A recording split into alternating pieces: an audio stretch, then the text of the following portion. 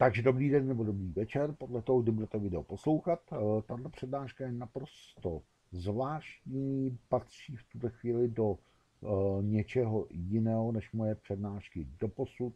To znamená do něčeho jiného, myslím tím, bude na to speciální rubrika. Tohle je generálka na moji přednášku, kterou budu mít naživo na festivalu Fantazie v Chotěboři, který se koná letos samozřejmě v období od 36. do 9.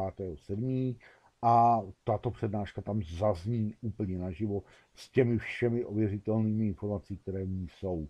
No, doporučuji za druhé, prosím vás, je to extrémně těžký téma, takže já doporučuji, protože se budu zabývat duševním zdravím, duševními nemocemi a to s ohledem na osobu uh, Filipa Kindreda Dicka. Budu se zmiňovat o jeho tvorbě, ale i o jeho reálném životě a půjdeme úplně do podrobností.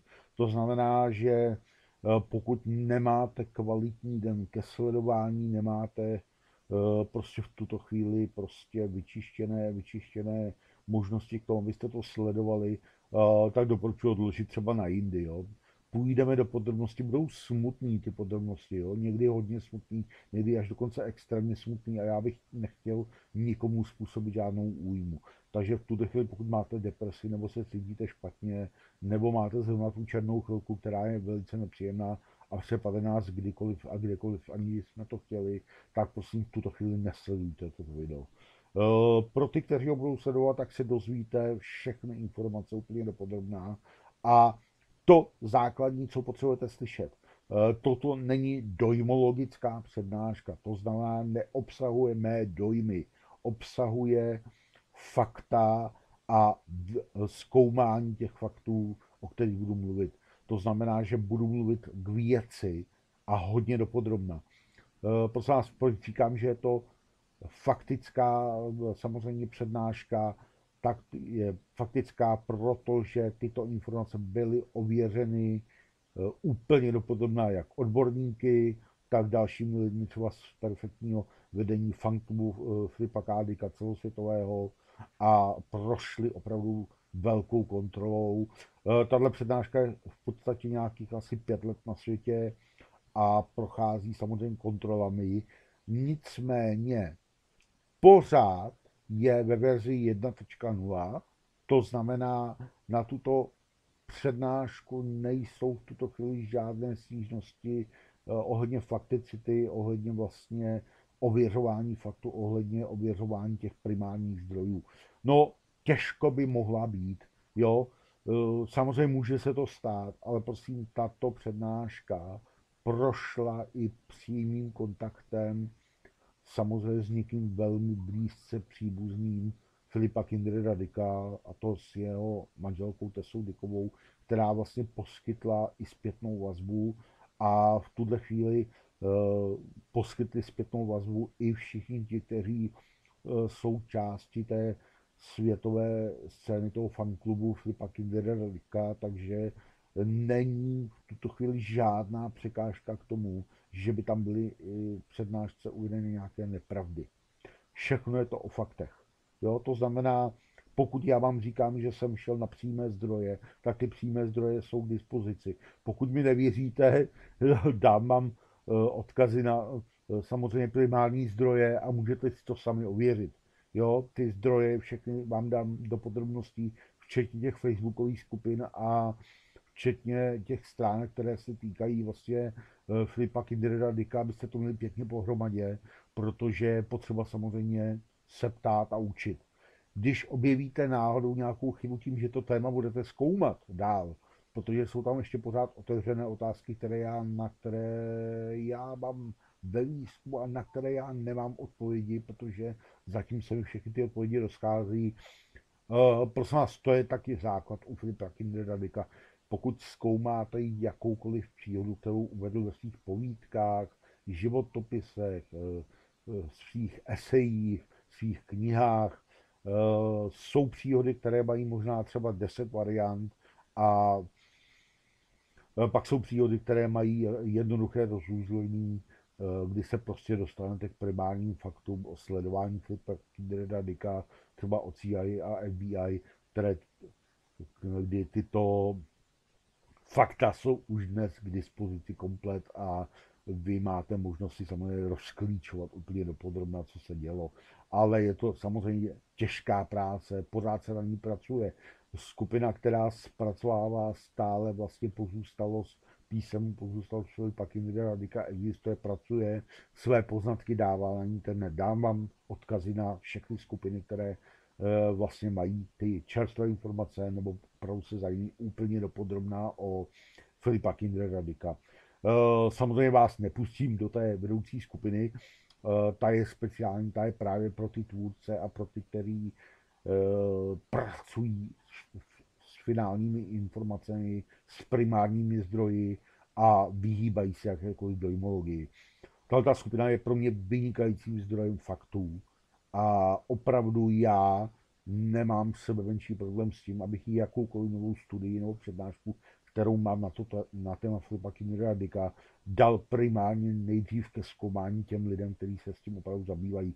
Znamená, v té skupině jsou sjednocení i lidé, kteří, kteří fungují eh, takže opravdu byli s Filipem Kádikem v přímém kontaktu, lidi třeba z natáčení Blade Runner, jsou tam, jsou tam pomocní, pomocní lidi, kteří pomáhali třeba s natáčením přímo Blade byli u těch věcí, dokázali s Filipem Kádikem hovořit, jsou tam lidé, kteří byli jeho nejbližšími přáteli. Ale tady pozor, ještě jedno upozornění o Filipu Kádikovi napsáno samozřejmě spousta různých životopisů, některé z nich jsou dojmologické a e, prosím, tato skupina opravdu zpracovala, kdo opravdu píše kvalitně o P.K. Dickovi, protože Eh, jsou tací, kteří se třeba prohlásili za nejbližší přátelé Filipa Kádika a ve skutečnosti se pak zase dozvíte z rodiny, že to byl třeba člověk, který eh, naprosto eh, Filip s ním moc nekomunikoval nebo nuceně jenom, že ho potkával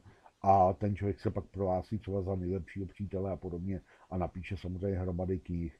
No, jenže samozřejmě hromady knih, které obsahují spoustu dojmu, osobní, subjektivní dojmologie a to je špatně.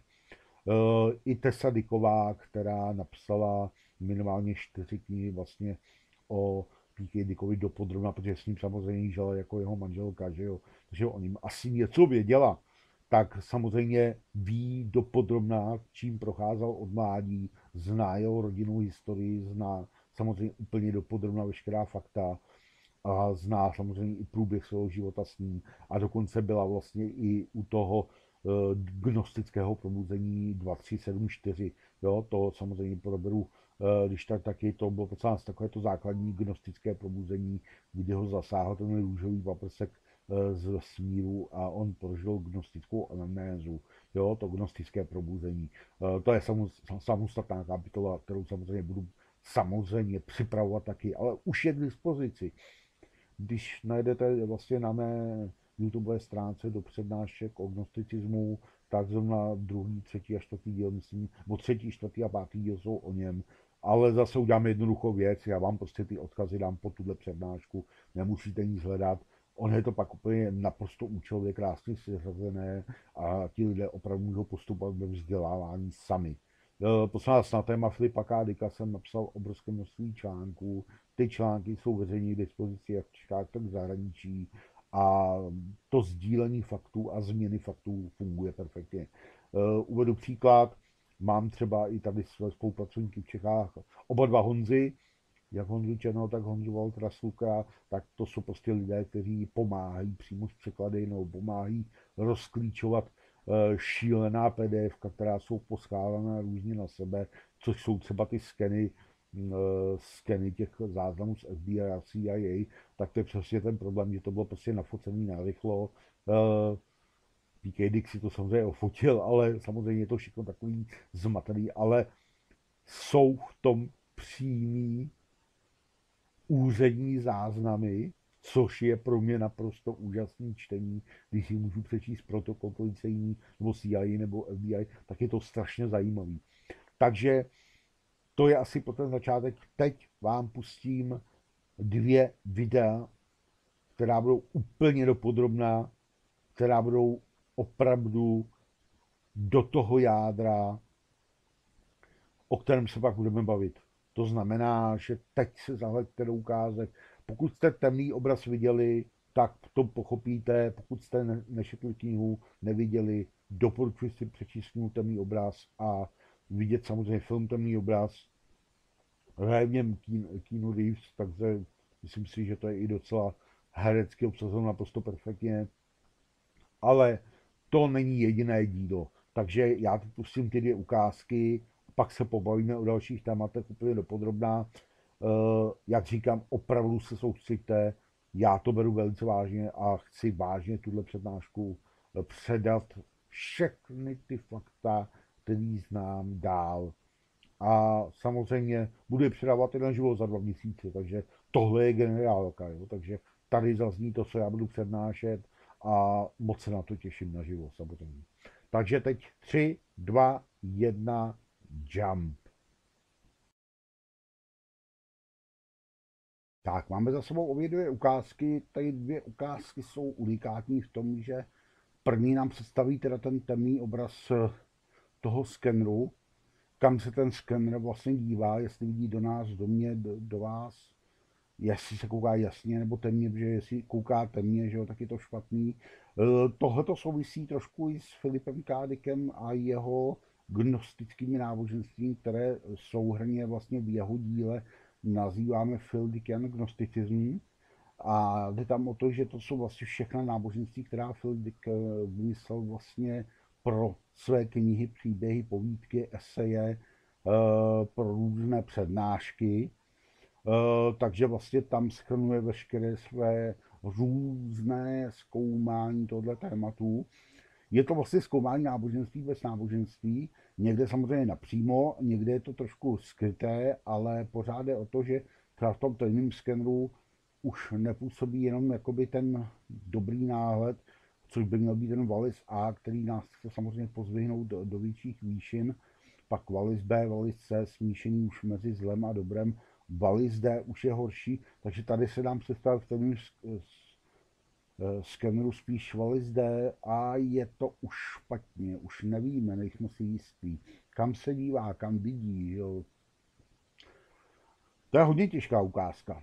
Tak, no a ta druhá, ta je ještě těžší, jo, protože to je přesně ten obraz, co teda od života očekávat, co opravdu od něj chceme, jestli chceme jít tou tradiční cestou té rodiny, těch hodně dětí a výchovou, nebo chceme radši prostě strávit život přemýšlením, být eh, spíše uh, filozofy než uh, milujícími otci nebo matkami a chceme více prostě poznávat a chceme více cestovat, chceme vidět maximum z toho, co je možné vidět.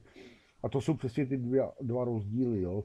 Každý si musí stanovit to, co skutečně chce jo, ne to, co mu někdo předepisuje. Jo. To znamená, že pokud se někdo nutí do zakládání rodiny a mm, aby měl hodně dětí, aby byly vnoučata co nejrychlejší, aby bylo všechno, uh, je to špatně. Pokud je to přirozeně, tak je to skvělý, protože pak vidíte přirozený výsledek, že třeba taková manželství mají dobrý dopad a vlastně někam vedou a Eh, ty svazky potom vydrží, protože stojí na úplně jiných věcech, eh, hlavně na tom vzájemném respektu. A oba dva samozřejmě v, to, v tom svazku manželském si to, tu cestu zvolili. A vědí o ní a vě, vědomě si ji zvolili. A trvají na tom zvolení dál, takže to je super. No pak samozřejmě ale může nastat situace, kdy prostě ten člověk řekne, hele, já svůj život vidím úplně jiným způsobem a do tohohle systému, jak zaměstnání, jak prostě vzdělávání, jak prostě těch svazků, třeba to manželského nebo partnerského nechci prostě jít tímhle způsobem, tak tomu nemůže být nucen, že jo. E, to je prostě o rozhodování každého. Samozřejmě stát, ten hegemon, ten by samozřejmě chtěl prostě, aby ho poslouchali, že jo, ti lidé, aby, aby se množili, aby bylo, že stát potřebuje samozřejmě rodiny, aby měli hodně dětí, aby vlastně eh, byl populační růst, aby se zabezpečili lidi do dalších továren a do dalších výrobních hal a eh, do dalších úředních eh, míst a podobně. Takže to je takový zvláštní, jo, protože zase dneska nám třeba tuhle tu věc vyplňuje e, migrace. Jo. o který se často říkáš, jak je to strašná věc a přitom prostě pokud jsou to lidé třeba z toho našeho kulturního okruhu křesťanského nebo postkřesťanského, tak prostě mají podobné hodnoty jako my, žili podobně jako my, v tom jejich státě prostě vznikl takový zmatek, že radši utíkají pryč, tak samozřejmě e, takový člověk tak bude přínosem, že jo. Je to vynikající, že jo, ale samozřejmě e, je to, je to všechno jenom o, o lidech, že jo? je to o tom přístupu, o tom e, ten národ. Víte, co Češi, Češi byli strašně zvyklí na to, díky komu myslím, že se to tady prostě absolutně zjednodušilo a všude byli jenom Češi, Slováci, ale e, najednou prostě je to trošku jinak, že jo. Spousta lidí zjistila, že ty svý kořeny má trošku hlubší. Já to říkám, moje rodina má od rakousko-uherských kořenů až po e, ty německé a vlastně jsme všichni takový praví Češi, jo.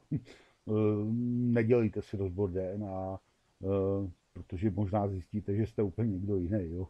Ať nedopadnete jako ten běložský nacionalistický vůdce ve Spojených státech, který si nechal udělat naprosto bílý, jo, bí, prostě vlasy dokonalý, modrý oči, jo, člověk to, ne, ne, možná nebyl takový, ale prostě byl to, byl to jeden z těch vedoucích nějaký ty místní, tý polofašistický bojůvky a nechal si udělat schválně den a, a zjistil si, že má myslím 40 nebo 50 dokonce jakoby černovských genů. Jo. Tak, takže v tu chvíli mm, mm, neměl jsem si dělat test DNA, protože v tuto chvíli vlastně já jsem řazen eh, těmi lidmi někam jinam. No, samozřejmě, že ho vyhodil ze všech těch nacistických organizací prostě běloruských organizací, protože prostě byl dezolát, byl, byl prostě skažený tu skaženou krví a nesku, neskutečný prostě. Jo, takže tohle je taky varianta. Ta ukázka druhá jde hodně do, do, do toho rizika vlastně, co skutečně chceme. No. A pak samozřejmě ještě tam přichází do toho právě to duševní zdraví, kdy vlastně to, jak se praští eh, ta postava hlavní o ten, eh, tu skřínku vlastně a probudí se do té eh, krvavé amnézie, najednou prostě se zbortí a najednou se vám zbortí všechny vztahy, zbortí se vám, nechápete samozřejmě žádnou spojitost se svým životem, připadáte si v tom, že jste nuceně a bohužel to za otroctví a tam, jak on říká, muselo to skončit a taky to skončilo. No, to jsou prostě nás reální příběhy ze života P.K. Dicka, kdy prostě procházel podobnými věcmi, takže je to docela smutný, ale zkusme, zkusme se ponořit do té iracionality těch duševních nemocí, protože i tyhle ty věci měly na takovýhle věci vliv, jo, protože ty iracionální rozhodnutí někdy děláme, děláme skoky, které by nikdo nečekal, ale to svědčí taky teda o tom, že můžeme procházet nějakým velice extrémně těžkým obdobím.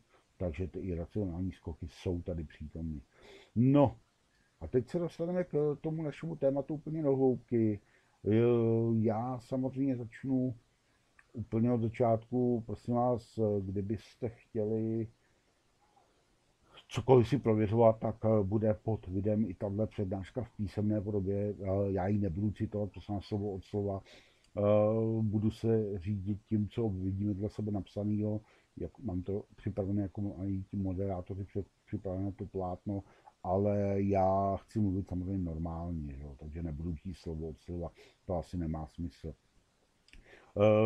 Tady je otázka, teď se vrátíme vlastně k jádu tématu.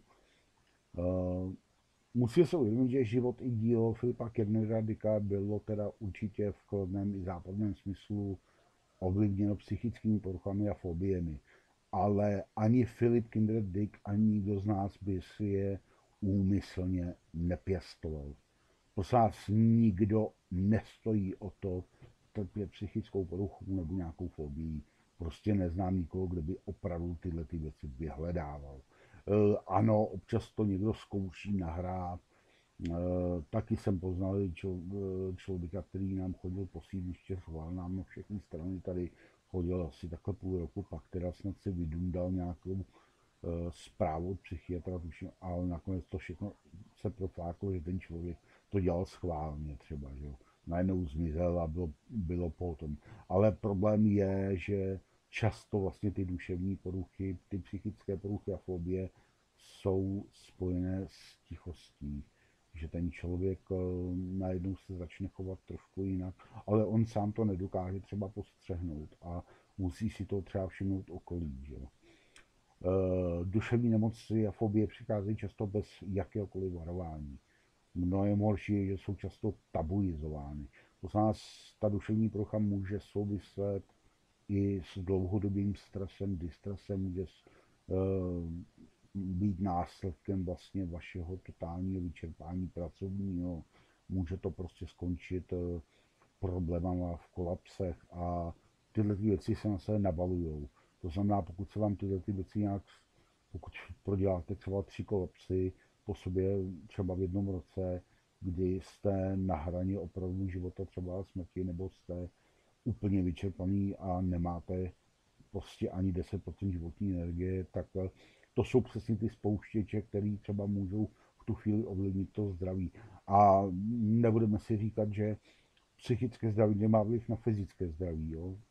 protože já řeknu třeba za sebe, pro mě eh, třeba onemocnění štítné žlázy, já jsem mm, nechápal, ono má samozřejmě smysl s tím, že jsem třeba tehdy pracoval v nějakém stresujícím prostředí, ale mě to zarazilo najednou z ničeho nic, se mi přestaly hojit i drobné rány, prostě třeba jsem se říznul, nebo jsem se něco poranil a mě se hojila třeba rána měsíc, jo.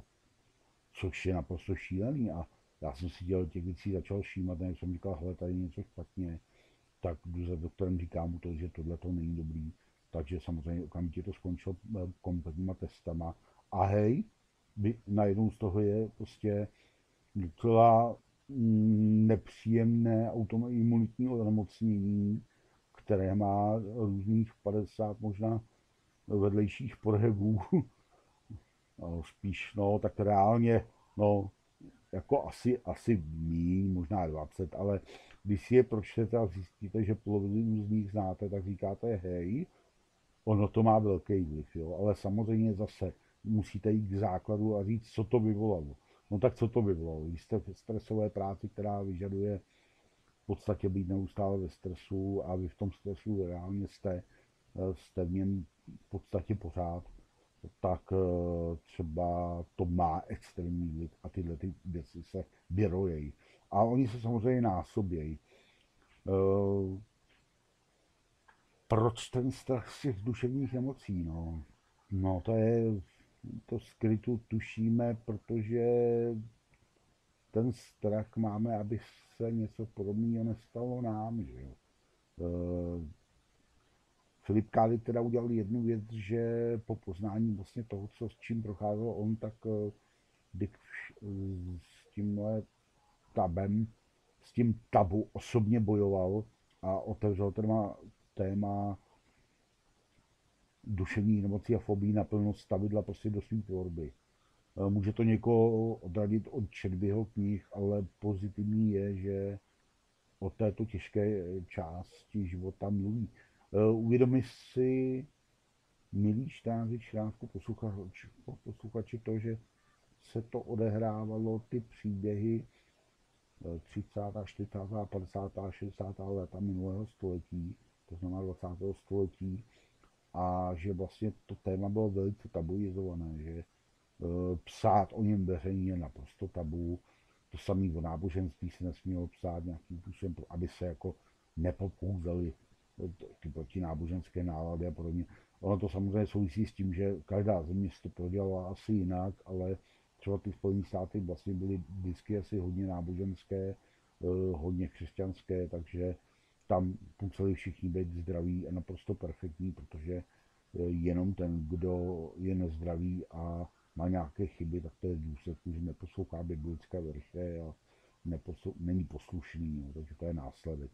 Uf, tohle jsem taky zaslech, jo. Eh, to zaslech jsem tady v českých podmínkách, to není jenom otázka Spojených států že prostě takovýhle věci nemůže prodělat člověk, který má naprosto jasný a čistý vztah k Bohu, ale myslí, s tím křesťanský vztah k Bohu, takže je to naprosto spjaté zase s tím úplně um, zvláštním pohledem na život.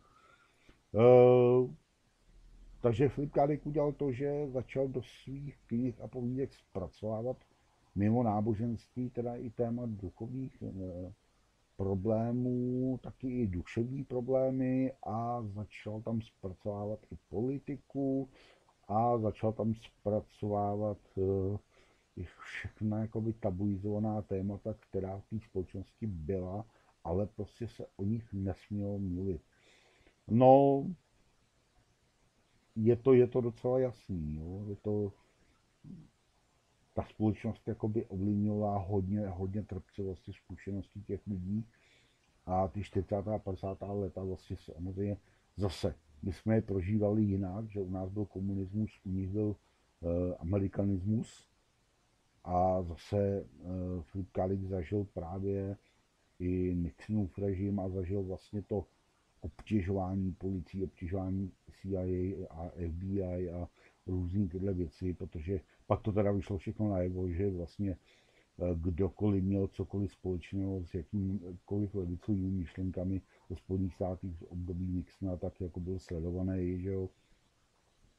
Filip Kalik si samozřejmě hodně nabih, protože on psal Eh, po tom zážitku 2374, tak psal třeba eh, do Sovětského svazu dopisy, jestli náhodou na ní nedělali pokusy na dálku, což samozřejmě upoutalo úřady, takže samozřejmě na se upozornil. On na sebe upozornil i svojí tvorbou, protože psal docela těžký témata, psal třeba docela děsivý román vlastně o tom, co by se stalo, kdyby Spojené státy prohrály druhou světovou válku. No a měl rozděleno mnoho různých dalších eh, románů. Ten první byl ten muž vysokého zámku teda a měl rozděleno spoustu dalších věcí, které ukazovaly různě třeba, co by se mohlo různě dít. Prosím nás, muž vysokého zámku je naprosto, naprosto extrémní téma v tom, že by vyhrál nacismus druhou světovou válku, takže doporučuju, je to první z těch děl, který tohleto téma nějak zpracovávali. Nevím předtím, jestli někdo zpracoval nebo ne, netuším. Po něm samozřejmě jo, ale předtím eh, ne, nevím o nikom zatím. Ale po něm samozřejmě spousta autorů už si to vzala na paška, ale už to tam psala taky, že jo. No, což je samozřejmě extrémní téma, že jo. Eh, my se budeme zabývat těma duševníma problémama. No a ten základ je, o kolika teda nějakých eh, duševních nemocech on se zmiňoval ve svých románech a povídkách a esejích, dlouhých esejích. To nás on na to psal i více než odborné eseje. Eh, dejte si na to pozor, podceňovat spisovatele, zrovna Filipa Kádika se to vůbec nevyplatí, protože on si pořídil určitě tehdy k dispozici, nebo internet, jo, ale pokud jste chtěli mít znalosti opravdu na vysoký úrovni, tak jste si museli pořídit třeba nějakou celou řadu nějaké kvalitní encyklopedie, kde, která se vlastně každý rok uh, upřesňovala a obměňovala, když vzniklo něco nového. On si teda koupil uh, svazek samozřejmě Eh, nádherné encyklopedie Britanniky, takže v podstatě čerpal opravdu, eh, dneska bychom řekli, z primárního zdroje znalostí, který byly ověřený a úplně dopodrobná a stali se primárním zdrojem pro něj. Takže on si všechny ty choroby nastudoval úplně dopodrobná. No a pak udělal jednu věc, že on si je nastudoval do podrobná a pak si je předělal do svého systému science fiction tak, že je posunul třeba do budoucnosti nebo do minulosti nebo do nějakého jiného alternativního světa a dal jim lehce jiný význam nebo úplně jiný význam a rozepisuje se o nich, jo, úplně zajímavým způsobem. Nicméně, pokud jsme opravdu řekli, jakými všemi nemocemi se ve své tvorbě zajímal, tak ten seznam docela dlouhý Prosím vás, to není seznam chorob Filipa Kádika. E, často lidé bloudí v tom bláznivém pohledu, že to je seznam Filipa K. Dika, že všechno tohle to měl. Ne, neměl.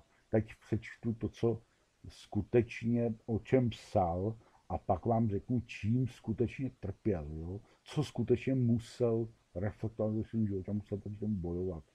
Uh, takže v Dikově životě i díle se objevují zmínky o agorafobii, tak agorafobie je téma jeho osobní. To znamená, že nejenom, že o něm píše teda ve svých knihách a povídkách, ale týkalo se, eh, týkala se agorafobie jeho osobně.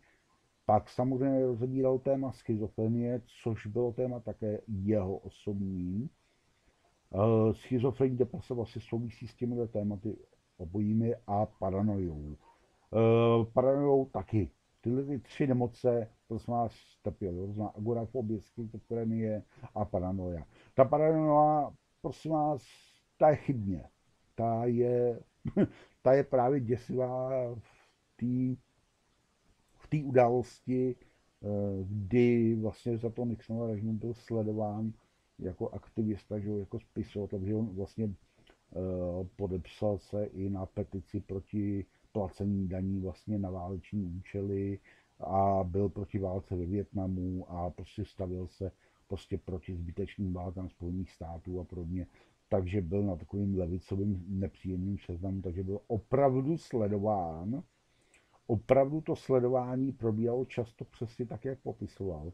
Takže je docela zajímavé, že on to zpracoval do svých knih a potom teda, když eh, přišel ten Nixonův režim, skončil a došlo k nějakému uvolnění, eh, tak eh, stejně jako on, tak i ostatní nahlédli teda do svazku CIA a FBI a policie o tom, co si o nich skutečně vedli z záznamy a zjistil, že vlastně para, jeho paranoia byla ze tři čtvrtě prostě úředně daná, že opravdu existovala.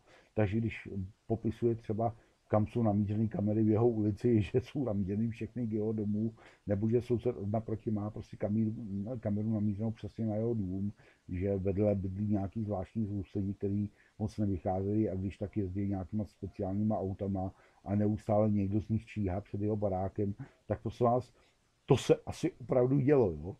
Když si o tom pak přečtete právě v těch záznamech, ty budu klíčovat, jo, ty se musí ještě rozklíčovat, protože vlastně bude extrémně moc práce a oni na tom pracují lidi v zahraničí, ale uh, máme právě problém, že ty PDF jsou nekvalitní, ale někdy ty úřední záznamy si můžete přečíst, skopírovat, ale my to musíme nějak rozložit, složit, prostě přepsat, protože uh, z toho bude velmi zajímavá přednáška o tom, co teda ta paranoia v reálnosti znamenala. Takže tu paranoju nakonec v podstatě by mohl Filip Kádek vynechat, protože ta nebyla ta nebyla prostě opravdu reálnou nemocí, ale ta byla reálným, reálnou realitou v jeho životě. Jo.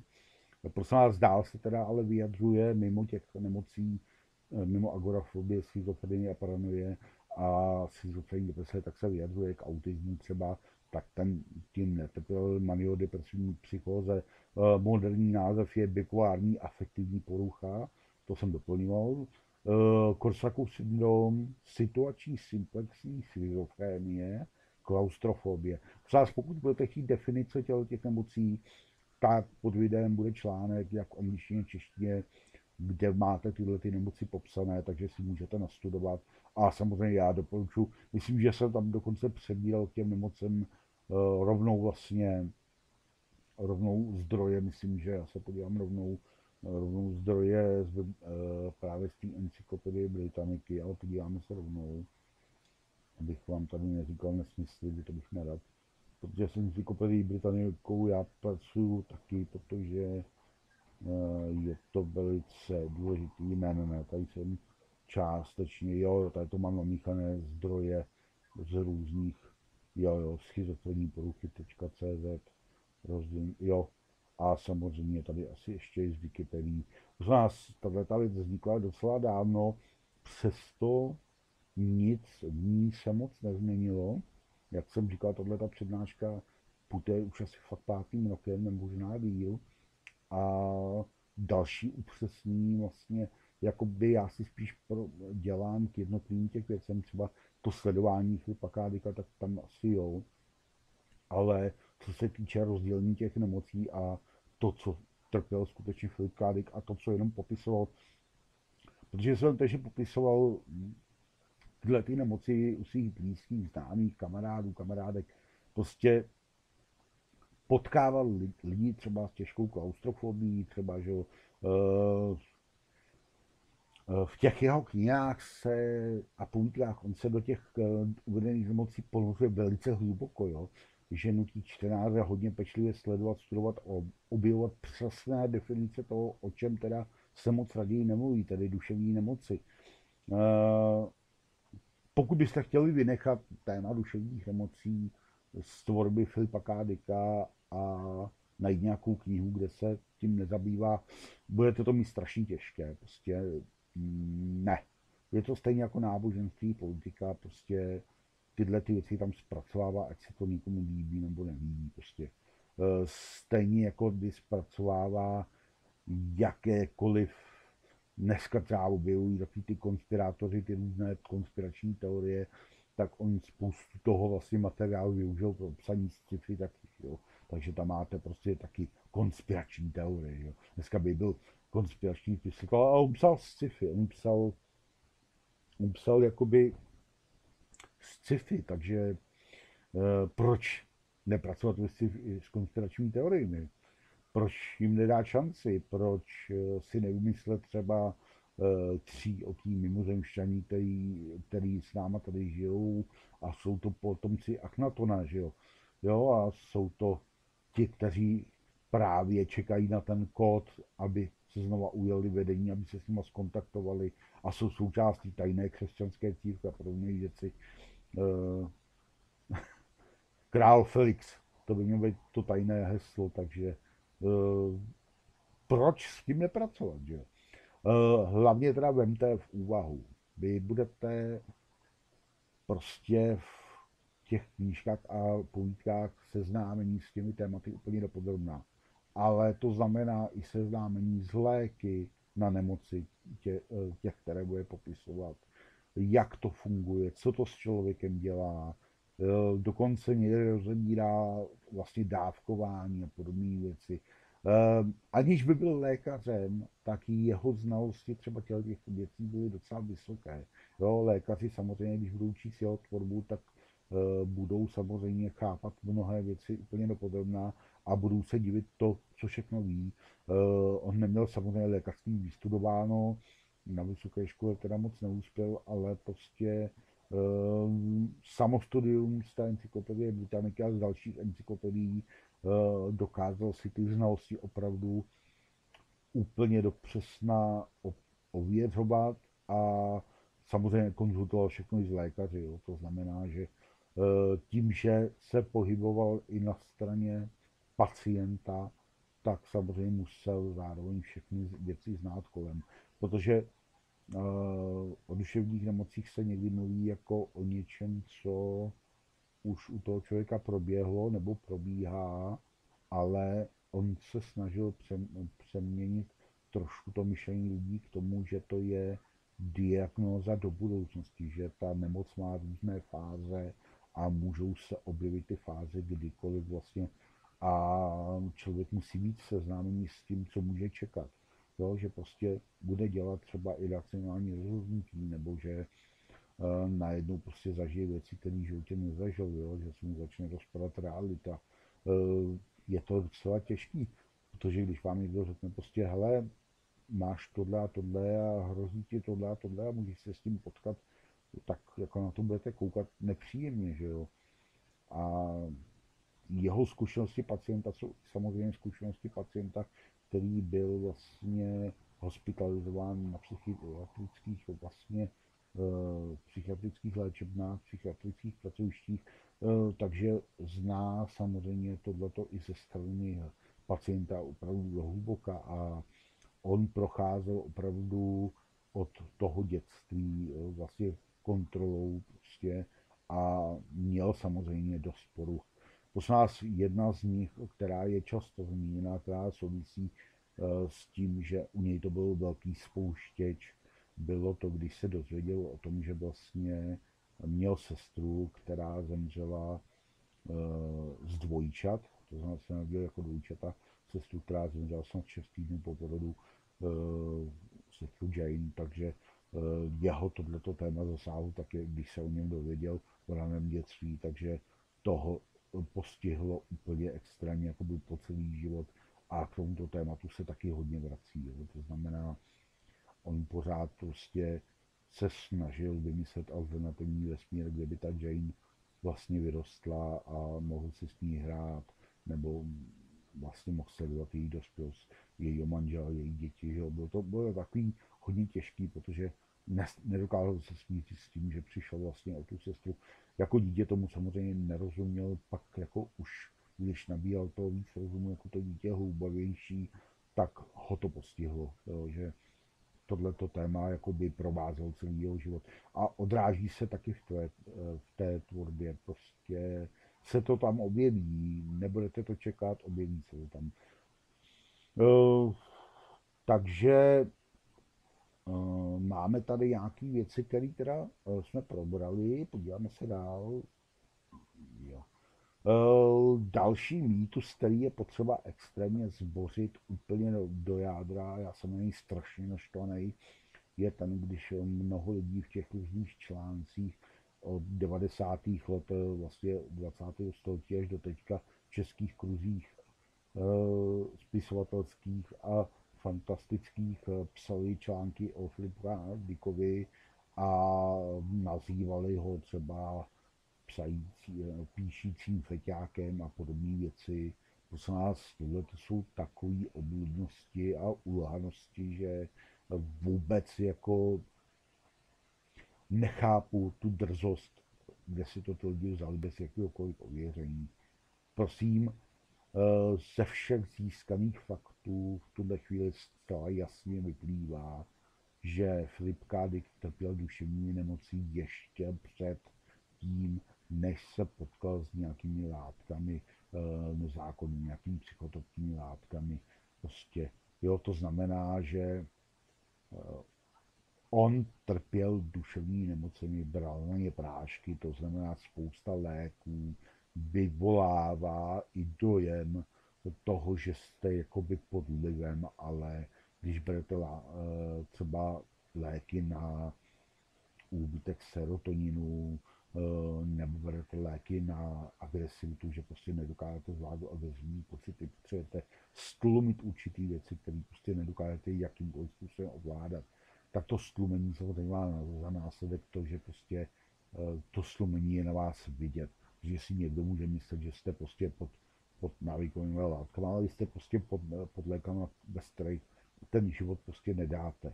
Jo, to znamená, nemůžete nic vynechávat, protože ten lékař nebo lékařka opravdu stanoví tu diagnózu velice pečlivě a přemýšlí na ní, aby vám neublížila a hlavně samozřejmě stanoví to, co potřebujete a co by vás uklidnilo. A neustále musí probíhat komunikace mezi pacientem a tím lékařem, lékařskou, protože ty věci se mění. Jo? Můžete, já dám příklad, mít problém s extrémními nočními můrami, trpět nespavostí, bát se vůbec spát, že jo? Jo, to jsou prostě věci, které eh, mnozí taky zažili. Eh, noční můry, věřím, že zažil asi každý, ale když ty noční můry přesáhnou to, to, že jsou vlastně pravidelné, každodenní a vy máte být připravený duševně a psychicky a fyzicky dobře do práce, eh, tak asi to moc nejde, že jo. Když přijdete nevyspalý, má, sice jste jako spali, ale jako když se budíte každý 10 minut z nočních můr, tak je to extrém, že v tu chvíli nemůžete normálně fungovat. Takže tohle to musíte taky řešit. A čím to můžete řešit? No, samozřejmě asi léky, že jo? Protože potřebujete nějak utlumit, uh, jestli máte bujnou fantazii, která chce pracovat uprostřed noci jenom na těch nočních můrách, tak to je docela šílené. No. To souvisí samozřejmě ale i taky s duchovní oblastí, jo? protože uh, prostě ať se to lidem líbí nebo nelíbí, i třeba do duševního zdraví zasahují právě duchovní zkušenosti, takže to taky může být jedna z příčin. E, sice se to moc jako nepřiznává, ale e, docela v poslední době o psychospirituální krizi se mluví docela vážným hlasem a vlastně psychologové, psycholožky, psychiatři, psychiatrině, lékaři, lékaři, lékařky, tak s tím pracují. Prosím vás, už psychospirituální krize už není taky tabu, že jo? protože lidi můžou mít tyhle ty stavy a ty duševní nemoci taky z toho, že neřeší tu psychospirituální krizi, která je může dosáhnout. Takže mm, pokud jste někde četli nějaký článek, ve kterým prostě někdo napíše, že ty psychické problémy, které Filip Kávik měl, vychází z toho, že experimentoval s drogami, eh, tak prosím vás v tu chvíli zbystřete ne. On měl psychické problémy ještě předtím, než si dotkl jakékoliv látky. No a pak samozřejmě my se můžeme seznámit, když pokud víme tuhle ten úplně dopodrobná, tak se můžeme seznámit s tím, co skutečně zkusil si vzít. A co teda on sám dokonce popisuje, eh, vyjadřuje se k tomu naprosto veřejně a dává tomu nějaký základ, že řekne, hele, udělal jsem tohle a tohle, mělo to takový a takový účinek a nikdy více. Takhle to mělo třeba s tím, že se dostalo k laboratorní LSD, vlastně čisté, ne té pouliční LSD, ve které je vlastně nahromaděno veškerý svinstvo, který se sbírá z ulice snad. Eh, pokud se v tom trošku vyznáte, tak je vám jasné, že eh, pokud lidé někde si kupují od nějakých dílerů na ulicích drogy, tak ty jsou vyráběny naprosto neskutečným způsobem ve špinavém prostředí s, chemická, s chemickým ošetřením, naprosto neskutečně eh, podstatě namíchané se škodlivými látkami. A to se týká i marihuany, i vlastně třeba LSD, nebo kdo si koupí pervity na různé věci. A ty, ty, ty věci jsou všechny dneska zpracovány špinavou cestou. V těch 50. 40. letech, ale v těch 20. 30. byl problém, jo, než se zjistilo třeba škodlivost těch látek, tak to chvilku trvalo. Takže třeba součástí e, obyčejných kapek proti kašli byl metamfetamin, amfetamin v nějakém množství, takže samozřejmě kapky, na, kapky byly hodně skupovány proti kašli, takže z toho získávali ti drogoví díleři taky vlastně látky potom k prodeji a nebo dokonce to užívali lidé, prostě si nakoupili uh, tyhle látky uh, v těch lécích, protože to byly volně dostupné kapky proti kašli, tak jako prosím vás, tam teď s tím souvisí jeden takový blud, neblud, který se moc nedá ověřit.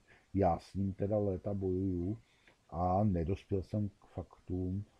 E, to znamená, já teď schrnu jenom tenhle ten závěr, pak řeknu něco úplně nového. E, prostě ze získaných faktů vyplývá, že z největší pravděpodobností to bylo u Dika nakonec tak, že duševním nemocem, to znamená agorafobii, schizofrenii, paranoii, nepředcházel jeho špatné hry s drogami a drogy tak nebyly, jak se v neuvěřených zdrojích uvádí příčinou jeho opakovaných psychických zhroucení. Oddělit ale projevy duševních nemocí nelze od následku užití léků a drog úplně jednoduše. Mnohé projevy nakonec bohužel splývají ve svém konečném důsledku do sebe navzájem. To znamená, že pokud ti lidé se léčí opravdu nějakou duševní nemoc, léčí se léky, které jsou na to určené a namíchají k tomu třeba ještě drogový koktejl nebo alkohol, tak v tu chvíli ty léky se mění v drogu taky, protože v souvislosti s tím, že to ti lidé zkombinují s drogami nebo s alkoholem, tak vlastně ztrácejí ten smysluplný účinek. Jo. Je, to, je to v tu chvíli smrtící koktejl, který ty lidi zabíjí zevnitř, poškozuje extrémně játra, že jo. Že játra najednou nevědí, prostě kam dřív skočit, protože uh, těch látek, které jsou cizorodý a které nemají v těle co dělat, je najednou strašně moc. Jo. Takže pokud někdo, kdo trpí psychickou nemocí, nemá třeba předepsanou lékařsky, uh, jak to je u nás třeba v Čechách, třeba na těžké nemoci, nejenom duševní, na, spíš na ty fyzické, ale i na ty psychické asi tuším taky možná, ale nevím to přesně, že je přepsaná lékařsky prostě marihuana třeba, tak jako tam je to schválné lékařem, jo. ale teď si vemte, že ti lidé udělají to, že se léčí teda na psychiatrii pro nějakou poruchu eh, z těch všech, který jsem jmenoval, mají třeba opravdu tu agorafobii, schizofrenii a paranoju a teď k těm léčivům, které potřebují na tyhle nemoci, přidají drogy nebo alkohol, tak samozřejmě nic nevyléčí, naopak to ještě stonásobně všechno zhorší. Jo? To znamená, lékaři strašně extrémně varují a lékařky před tím, aby to lidé takhle kombinovali a blbli. Jo? Prostě uh, okamžiku, když někdo přijede prostě psychiatrovi, psychiatričce přijede s tím, že bere drogy a podobně, tak samozřejmě to nesmí kombinovat s léky, že? to je úplně šílený. Vlastně v podstatě uh, tam musí potom následovat těžký edukací kůry, protože ti lidé si tak zhuntují zevnitř to zdraví, že to nelze nějakým způsobem jakoby úplně přijímat. Eh, často je to fakt o tom, že oni jsou o tom hodně podrobné pořady, o tom, jak se ty drogy dneska vy, eh, vyrábí ze těch pouličních podmínek a věřte tomu, že těm lidem, kteří ty drogy vyrábějí pro to pouliční eh, prodávání, nezáleží na jakémkoliv zdraví a vyrábějí to z naprostých svinstev. A e, když si pak uděláte rozvody třeba prodávaného pervitinu, heroinu, kokainu, marihuany, tak zjistíte, že nebo LSD, nebo ty různý, jo, tak to bylo ty, ty sluníčka na diskotékách, jo, e, si tak najednou zjistíte, že jste si koupili vlastně z té drogy třetinu a zbytek jsou prostě chemický koktejl smrti, který vám zlikviduje zdraví během pár let. Absolutně dokonale. Jo? Samozřejmě těm dílerům, těm, kdo prodávají ty drogy, na tom absolutně nezáleží, jak je to vyráběno. Oni to jenom přeprodávají. Jo? Ale když se pak podíváte do toho výrobního procesu, tak to je něco extrémního. Jo? Od toho prostě utíkat. Eh, ty dokumentární pořady, které se tím zabývají, ty lidi mají vystrašit, aby si uvědomili, že si koupí něco na ulici, tak je to něco extra. Eh, chápu rozdíl mezi tím, když si opravdu získáte eh, čistou třeba ano, čistá semínka a zasadíte si ji doma a ušetřujete ji normálně a něco, když si koupíte na té ulici. Vy si můžete koupit samozřejmě opravdu jediný chemický smrtící koktejl. Prosím, nic takového nedělejte. Vaše zdraví je jenom jedno. Eh, mně se o tom mluví strašně těžce, protože mám třeba známé kamarády, kamarádky, eh, kteří prostě třeba si tím zkrátili eh, už teď život, jo, že je jim třeba 30 jo, a zdraví mají zhuntovaný na 60. Jo. Tak je jasný, že ten člověk bude rád, že se dožije 50 let na maximum. Jo. A to už je ještě extrém, že jo. Tak. No, ještě tady jedno takové varování, docela jasný, který já, já to zopakuju, že uh, je potřeba opravdu neustále konzultovat s lékaří jakoukoliv změnu třeba léků, uh, duš, uh, léků, který používáte na duševní nemoci, protože může vzniknout chybný užívání. Lepší je pětkrát se zeptat, než se nezeptat vůbec a pak dělat blbosti. Že? Nebo s čím často samozřejmě lidi taky trpí to, že zapomínají, jestli si léky vzali nebo nevzali, takže musí si najít nějaký systém, buď teda kontroly příbuzných, že eh, ty léky jim bude někdo pravidelně vydávat, nebo budou mít na to nějaký smysluplný nějaký ten systém a musí si hlídat samozřejmě veškerý vedlejší příznaky a okamžitě konzultovat lékaři. Jo, ono to není žádná sranda, protože když pak vidíte, že ten člověk bere léky nepravidelně, má to na ní vliv samozřejmě. U lidí s depresí a s dalšími věcmi, těžkými poruchami, to je naprosto extrémní. Pak samozřejmě ještě vzniká druhá věc, která, která už by v Čechách měla být postupně odstraňována.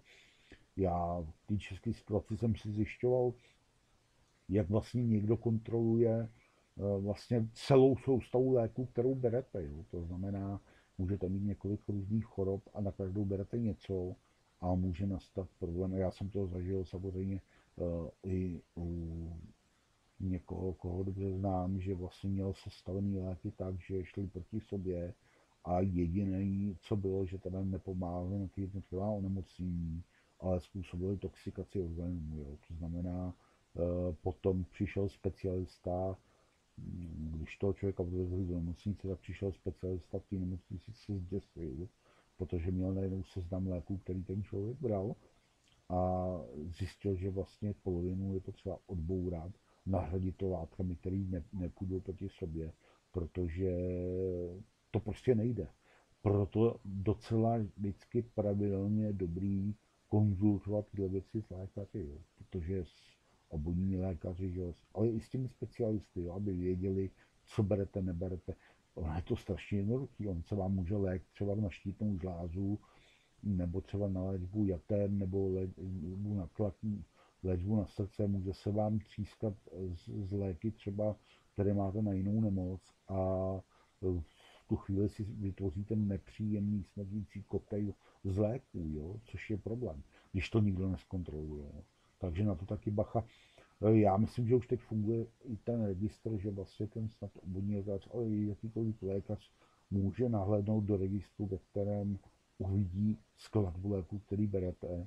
A tady je otázka opravdu, aby to někdo extrémně odborně posoudil, že mm, nedojde k nějaké toxikaci eh, té osoby eh, braní těch léků dohromady a že nepůjdu teda ty léky proti sobě, nebudu způsobovat sami eh, jakoby zhoršování toho duševního zdraví.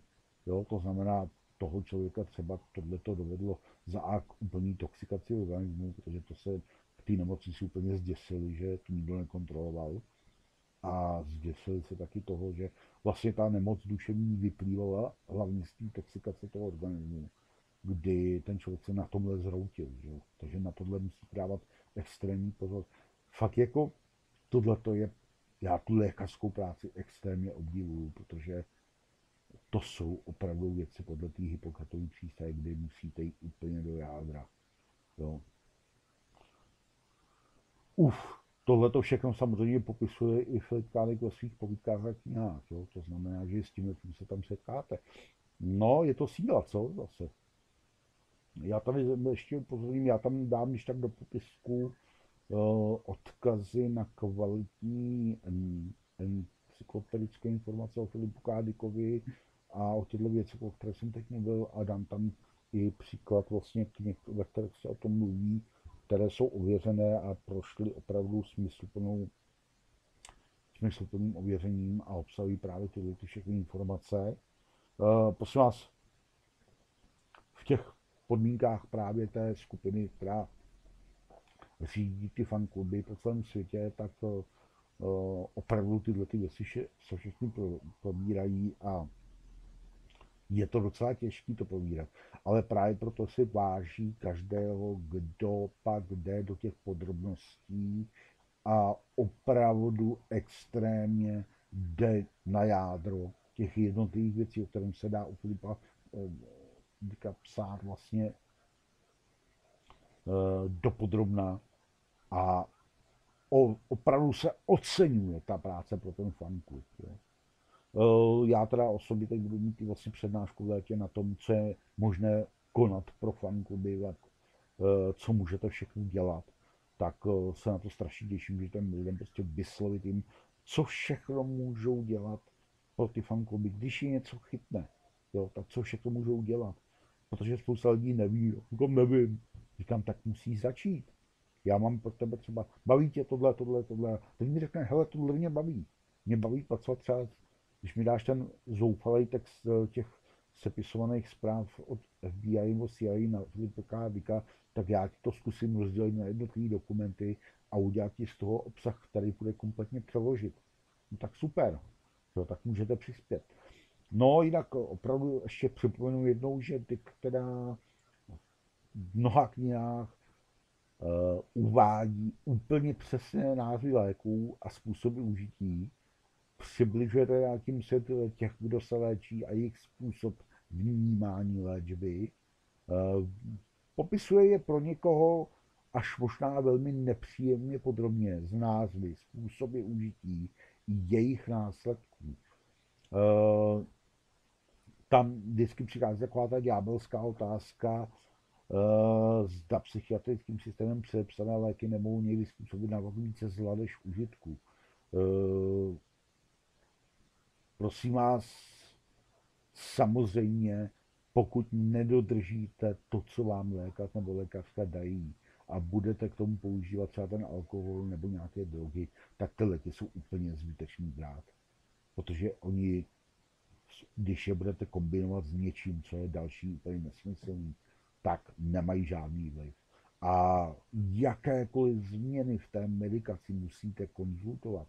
To znamená, že ještě eh, psychiatři a psychiatři pracují s tím, lékaři, lékaři pracují s tím, že lidi často pod vlivem těch duševních nemocí neříkají vždy ve všem pravdu, eh, nebo mají to zkreslení, to nás oni nechtějí lhát, ale mají to zkreslení, tak, takzvané kognitivní zkreslení, že mají nějaké své představy, eh, zkreslují pochopení té léčby nebo uvádějí nějaké informace, které jsou teda subjektivně zkresleny i díky svým vlastním představám či iluzím. Jo? To znamená, že opravdu to kognitivní zkreslení musí ten lékař taky s ním umět pracovat a lékař, lékařové a lékařky, e, protože e, prostě ty duševní nemoci třeba i zahrnují to kognitivní zkreslení. Je to bohužel, já říkám bohužel, protože ten člověk nedokáže třeba ty věci zpracovat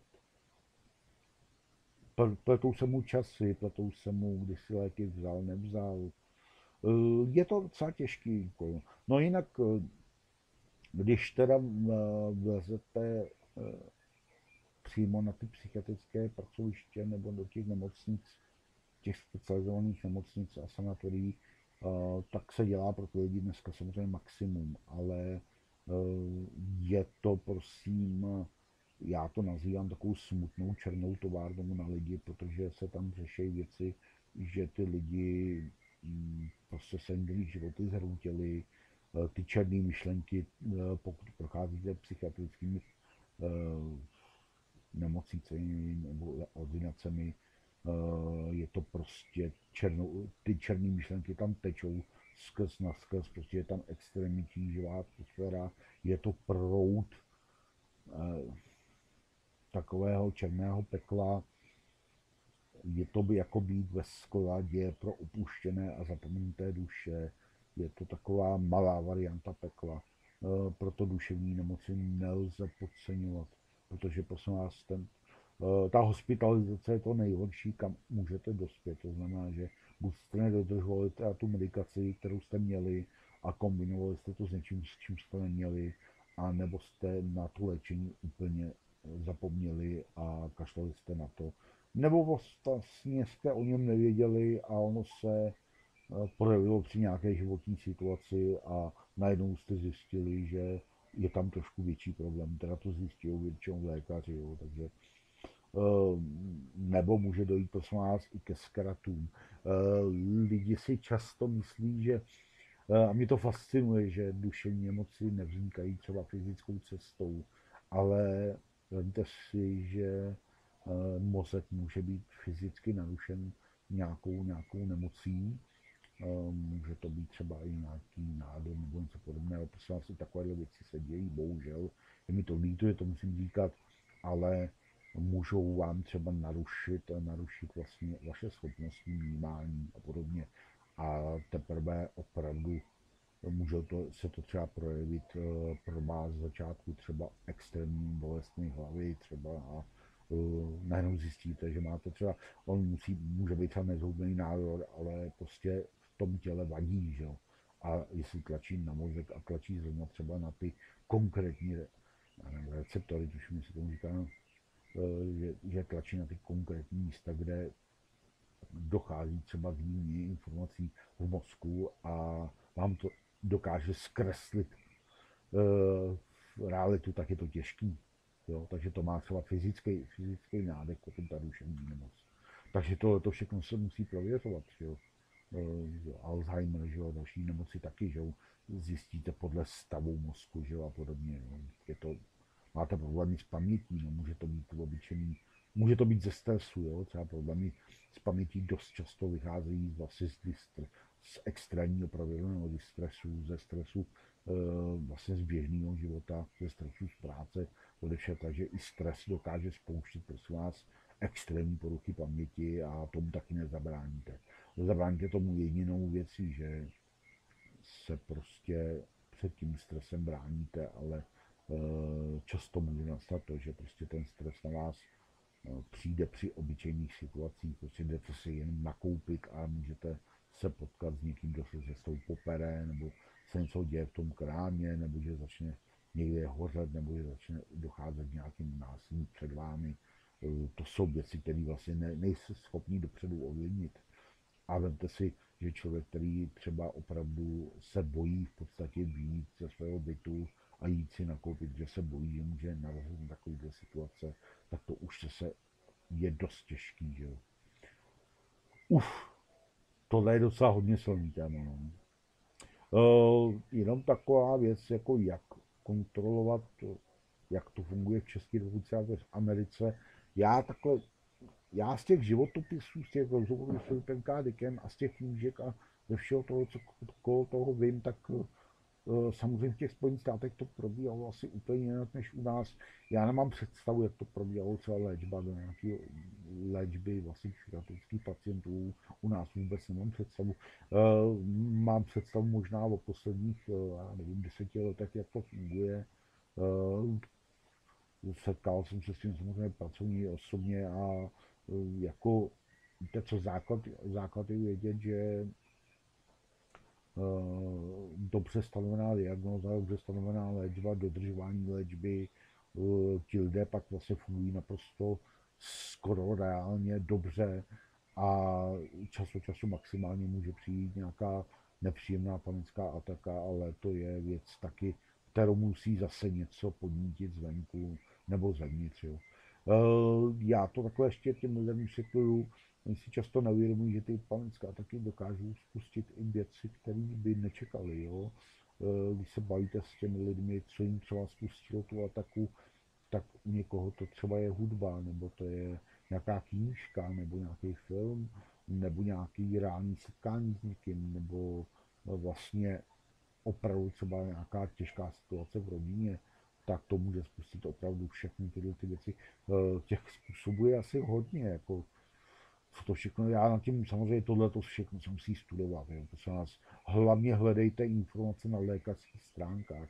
Já to, já to dělám tak, že prostě pokud chci něco vědět, napíšu kamarádům, kamarádkám, kteří jsou lékaři, že kteří prostě se v tom mají, nebo prostě musím oslovit svého lékaře, zeptat se ho, protože to nevím. Eh, zapomeňte na české všeználkoství. Lékařství je opravdu extrémně složitá věda a ti lidé, kteří prošli studiem lékařství, to není jenom jednorázové studium, to je celoživotní vzdělávání, protože neustále se snaží podle té Hippokratovy přísahy to vzdělávání si zlepšovat, aby měli přístup k nejnovějším léčebným metodám. Jo, to znamená, že ten like vůbec nemůže se pohybovat jakoby v tomto prostředí, chápat ho. Můžete si načítat uh, samozřejmě encyklopedické znalosti, které jsou zpracované tak, aby je pochopil i ten like, ale musí je napsat člověk, který je z nás z té perspektivy opravdu odborné. Uh, já se vždycky děsím těch extrémních lidí, kteří říkají, že rozumí všemu, takže vám prostě najednou řeknu, že rozumí psychiatrii, psychologii, všemu rozumí. Ne, nerozumí prostě. Šestnálky, prosím vás, oh, těch vysokých škol života nakupněte třeba do zadku, protože, protože já vidím, jak dopadá to všeználkostí. Jo. Prostě berte to tak, že vás někdo zeptá na lékařskou otázku, jak řeknu, hele, já nejsem doktor, neptej se mě. Já to prostě nevím. Já se domnívám, že to je takhle, ale tahle moje odpověď je naprosto jenom ultraortodoxně neutrální, protože já nejsem lékař, lékařka. Prostě já to mám vztah, že si ty věci načtu, že mě zajímají a čtu si je populárně vědecky, jo, to znamená, ano, jsou lékaři, kteří píšou populární vědecké knížky, takže aby tomu ten like rozuměl, ale prosím, pokud odborný článek lékařský, tak to je trošku úplně jiná liga. To je prostě po 300% někde jinde. Jo. A to máte ale už všema, můžete být specialisti na, na různá témata a rozeznáte variantu nespecialistů od specialistů. Že? Takže když uh, se někdo se mnou bude dohadovat to prostě o duševním zdraví a o dalších věcech, ale jestli chceš mít otázky úplně do podrobna, musíš se zeptat lékaře, lékařky. Já vím to, co říkám a to, co říkám, mám nějakým způsobem ověřeno a mám to samozřejmě ale zpracované z toho pohledu toho fanouška PKDK ale ne z lékařského pohledu úplně do podrobna, protože ten lékařský pohled já mít nemůžu, protože já mám právnický vzdělání, prostě tak e, mezi právnickým vzděláním a lékařským vzděláním je trošku rozdíl. Že? Já mám technický a právnický vzdělání, tak to vůbec jako, no, jako já bych člověka bral podle těch, těch měřítek jako, e, jako stroj, že jo, ale to, to nefunguje, že jo, takže to ne. Jinak eh, Filip Kádek teda popisuje psychiatrická řízení v USA, to má často ve svých knihách, eh, a dokonce popisuje vlastně organizaci tzv. Synanon, což byla docela zajímavě děsivá organizace. Existovala samozřejmě jak eh, americká, tak kanadská verze. Prosím tam se použil název Synanon Xcalai. Je to různý samozřejmě pro film se používá něco jiný název než v reálu, že jo, ale uh, X-Kalaj uh, je jakoby filmový název a pracovní název pro Synanon v reálu, že jo. A ty zkušenosti má s ním i Filip Kádik. Uh, opět, opět samozřejmě problém. Uh, Filip Kádik měl prostě problémy osobního ražení, rozvody, byl asi pěkná ženatý, takže docela hodně drsný a stihnul toho trošku víc, než by možná chtěl. prostě protože dělal iracionální a racionální rozhodnutí v jednom někdy a hlavně ty iracionální, které měly naprosto neskutečné následky. takže prosím vás třeba vstoupil, když přijel do Kanady, vystoupil na, na konu, kde měl celá krásný projev a pak rovnou z konu odešel na pracoviště toho Synanonu v Kanadě a, a jakoby předstíral, že je drogově závislý. E, možná si předtím jakoby něco třeba dál, ale nebyl dlouhodobě závislý, že, protože to skutečně nebyl. A no, skončil v tom ústavě na tři týdny, e, kdy vlastně e, on byl po neúspěšném sebevražedném pokusu, a měl problém s duševním zdravím a po těch třech týdnech vlastně udělali kompletní rozbory, no v té době, že kdy tam byl a zjistili, vy jste, pane Dick, vy jste úplně čistý, že vy jako nemáte nic v sobě, vy, protože dlouhodobý užívání se v krvi samozřejmě objeví, že jo, a objeví se v krvi samozřejmě jednorázovka, to je zase něco jiného vlastně, jo, ale to dlouhodobí se tam objeví, jo, to se dá najít na to jsou specializované asi testy, něco, něco lehce vím, ale moc toho nevím. Asi se to dá úplně všechno ověřit, ale nevím jak. Jo, to se nebudu povídat. Nicméně byl z té léčebny jakoby vyhozen, jo, protože uh, on nepotřeboval léčbu tohoto typu, ale potřeboval psychiatra, psychiatra. Takže musel vyhledat samozřejmě odbornou lékařskou pomoc, jo, protože uh, nebyl závislák prostě ho vyhodili, prostě vy tady nemáte co dělat. Já chápu, že se vám ten režim líbí, on se tam asi líbilo, jako, jo, protože tam to byl léčba těžkou prací, jo, takže to znamená, že prostě pracujete, jste furt zaměstnání, něco furt hrajete nějakou hru, ten Synan je strašně zajímavý, já vám ještě tady k němu něco řeknu. Tak, to se podíváme za chvílička, jo, takže teď malou pauzu, pustím vám tam ještě jednu ukázku, a pak vám vysvětlím synonym a budeme teď vstupovat do knih Filipa Kádika. Takže teď zatím dáme přestávku a vy uvidíte ukázku, kterou ještě zařadím, takže se pobavte, no. Nebudu prozrazovat nic dopředu, ale tuhle ukázku mám strašně rád. Takže 3, 2, 1, jump. Takže já vás vítám po ukázce číslo 3. Nebudu ji komentovat, protože jsem cyklista a nechci se trápit, nechci utíkat od tohoto pořadu, potřebuji to dotočit, takže ne, nebudu se ke scénce vyjadřovat, já si myslím, že byla živá sama za sebe. Doporučuji teda přečíst si temný obraz jako knížku a zpracovat si ten film, protože to fakt stojí za to. Myslím si, že z téhle adaptace by byl Filip Kádik docela nadšený, protože ta se fakt povedla. Je to děsivé. Tak, já tady ještě doplním ty informace k tomu Synanonu nebo Xkalai. Poznám Synanon byl původně teda léčebným rehabilitačním programem založeným Charlesem Echakem Diderichem v roce 1958 v Santa Monica v Kalifornii. Na začátku 60. let se Synanon stal alternativní komunitou zaměřenou na skupinová setkání s pravdou, která byla známá jako hra Synanon, forma útočné terapie. Synanon se nakonec stal synanonskou církví v 70. letech a v roce 1991 se rozpadl. A rozpadl se z toho důvodu, že tam byly, byl zaznamenán pokus o vraždu, byly tam nějaké finanční machinace, velké ničení důkazů a podezření z terorismu. Eh, když se zhodnotilo na závěr vlastně celý ten postup Syranonu, tak byl nazván jedním z nejnebezpečnějších a nejnásilnějších kultů, jaké kdy Amerika viděla. Takže to je docela závažný téma.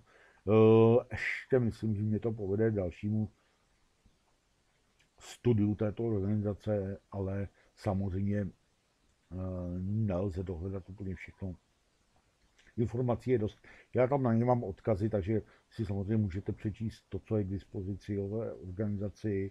Eh, je to docela nářez, jako, ale Filip Kádik tam byl zhruba ty tři týdny, eh, pak samozřejmě oni zjistili během té doby, že teda u něj to nebylo žádnými problémy s drogami, takže on tam byl spíš kvůli tomu duševnímu kolapsu a toho teda prostě ho teď vyhodili, protože měl čisté drogové testy, takže nazdar.